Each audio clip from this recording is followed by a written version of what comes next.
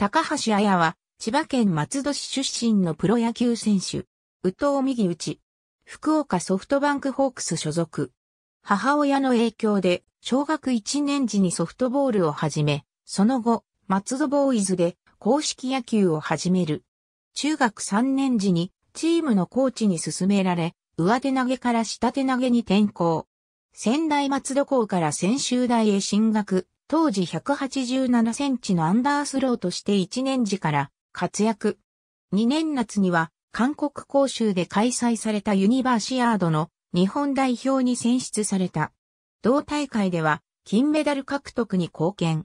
だがエースを任されるようになった3年時から思うような結果を残せず、チームも2部降格を経験。しかしドラフトを前にした4年は秋、監督と投手コーチの指導の下でフォーム改造の末、請求が安定し2部リーグながらも5勝を挙げ復活を印象づけた。その年のドラフトで福岡ソフトバンクホークスから2巡目で指名を受け、11月19日、東京、赤坂の ANA インターコンチネンタルホテル東京で仮契約を結んだ。契約金は7000万円で年俸1200万円。12月7日に福岡市内で新入団選手発表が行われた。背番号は28。2018年は開幕を2軍で迎えたが、4月10日に自身初2018年ホークス入団新人選手としては最速の1軍昇格。12試合に登板したが1敗15奪三振、防御率3.00だった。オフの10月18日に、東克樹が左肘の炎症で辞退したことにより11月に開催されるエネオス侍ジャパンシリーズ2018と2018日米野球の野球日本代表に追加招集された。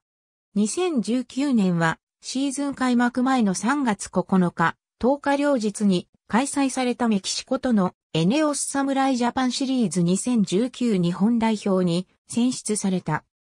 シーズンでは開幕ローテーション入りを果たし、シーズン開幕3戦目となる3月31日の埼玉西武ライオンズ戦に登板して6回を投げ1、失点に抑えてプロ初勝利を挙げた。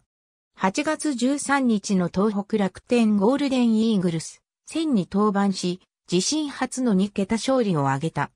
チームにとってのレギュラーシーズン最終戦であった9月29日のオリックスバファローズ戦で6回4失点でまとめて、自身初めての規定投球回に到達した。最終的には1年間先発ローテーション投手の座を守り抜いて12勝を挙げ、パリーグ新人王とスピードアップ賞を受賞。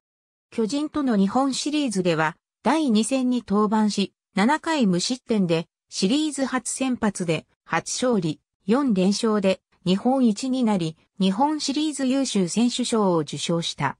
オフの11月に開催された第2回 WBSC プレミア12の日本代表に選出され、世界一に貢献した。2020年は春季キャンプ中に左太もも裏を痛めた影響からリリーフで開幕を迎え、先発復帰を見据えた暫定措置だったが、海野博士や高橋淳平が故障で復帰のめどが立たなかったため序盤戦で勝利の方程式の一角に組み込まれると定着。森唯斗と並び、チームトップの52試合に登板して4年連続の日本一と3年ぶりのリーグ優勝に貢献した。2021年は先発に戻り開幕ローテーション入りした。